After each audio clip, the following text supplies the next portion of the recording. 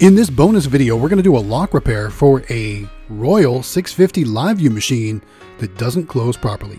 Enjoy the show.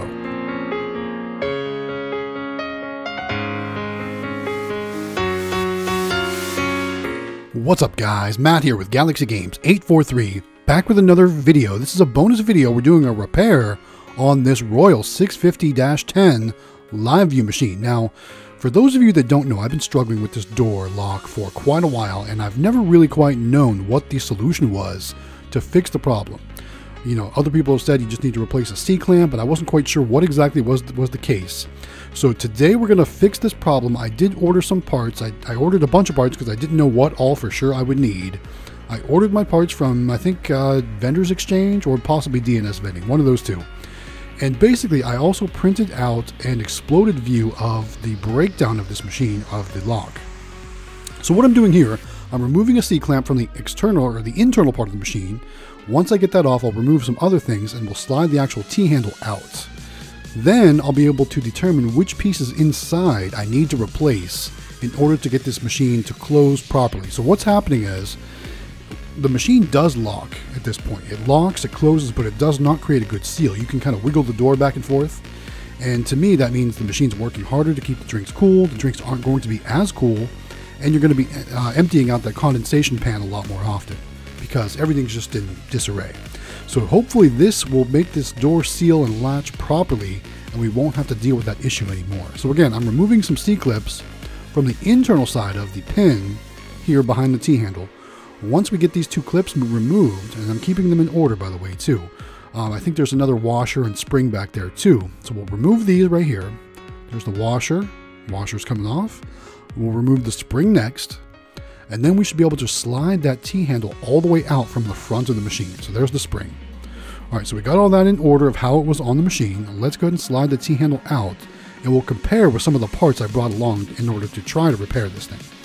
So there we go, slide it out. I see a spring there. I see, uh, looks like some sort of locking mechanism. But one thing I don't see is a C-clamp. So way back when, when people commented and said you're missing a C-clamp, looks like they were correct. Because there should be a C-clamp that should keep that spring with tension against the actual T-handle piece. So here's what we're going to do.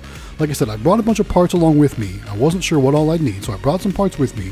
We're going to compare the two right now and see what the differences are. So here's kind of a replacement entire lock kit, and you can see there's a C-clamp holding that spring against the actual T-handle. Now you may wonder why I didn't just replace it all, and I will say the actual pin behind the T-handle was slightly bigger than the one that was in the machine, so the, it wasn't the right actual pin, or else I probably just would have replaced the whole thing with a brand new pieces like that.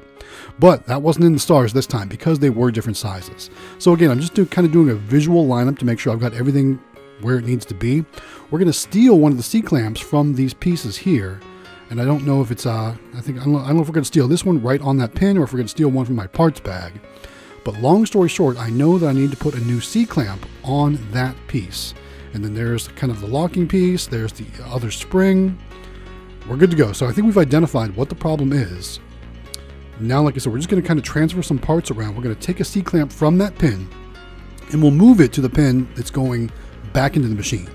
And these can be a little tricky to get off there. They can be tight sometimes. And I, might not be using the right tool, but basically I'm using a set of needle nose pliers and it's not wanting to pop. So I'm going to kind of just kind of persuade it a little bit with a flathead screwdriver. And again, be careful. You can damage your hands or you can hurt your hands, so you don't want to do that. And you also have to be careful too, because those things, they'll go flying, as, as you saw right there. So it did go flying, but luckily I was able to find it real easy. So there's the, the new spring. We're going to leave that there on that piece. We're going to set it aside. We're going to put everything on the old piece and put it back together. So here we go. So spring first, then the C-clamp. And the C-clamp can be challenging to put on there. So we're going to start it by hand. We may have to clamp it down with a pair of pliers or something like that. Yeah, looks like that's what we're going to do. We're to clamp it down with a pair of pliers to make it lock into place. And again, watch your fingers. You know, you could really hurt yourself here. Um, you can get, you know, stabby or whatnot. You don't want to do that. So once that C-clamp's in place, there's another little locking piece that we'll put back on there. And then it's going to go back through the front of the machine. So there's the locking piece. Let's put it back through the front of the machine. Here we go. And then once it's lined up, on the back side, on the inside of the machine, we'll put everything back together in order that we took it off. So it's going to be a spring first, then a washer, then a C-clamp, so on and so forth. I think maybe there might even be two C-clamps. So what I'm doing though here, I'm checking the picture that I, I initially took to make sure I'm going to put things back together the right way. Even though I laid them out in order, I want to make sure I do it correctly. Never hurts to double check your work, right? All right, so spring goes on first. Next, we're going to add the washer. So there's the washer. And uh, once we got that back on, it's, kind of, it's time to put on another C-clamp. So here comes the C-clamp. We'll put that in place. And again, I might have to use the pliers to clamp it down. Let's see if we, yep, yep, we need, the, need those pliers.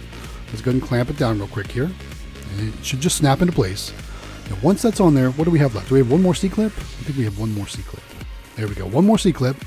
We'll put that on there too. We're just going to snap it down into place.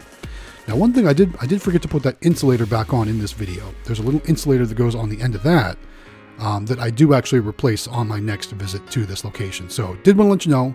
You may you may put in the comments that uh, we we forgot a piece. We did put it on in the next uh, next visit. But anyway, guys, we're going to lock this machine up, and it's going to work out just like it, it should be. All crises averted, all all problems fixed. The machine now closes and locks properly. Hope you guys enjoyed this video. It was just a quick bonus video on how to replace some of the parts inside your T-handle. Hope you found it useful. If you did, leave us a comment. Also, give us a subscribe, give us a like, all that good stuff. Help us out, help us grow the channel. But uh, with that said, guys, hope you guys enjoyed. We're going to wrap this video up right here. So once again, guys, this is Matt with Galaxy Games 843. Hope you enjoyed the bonus video. We'll see you next time.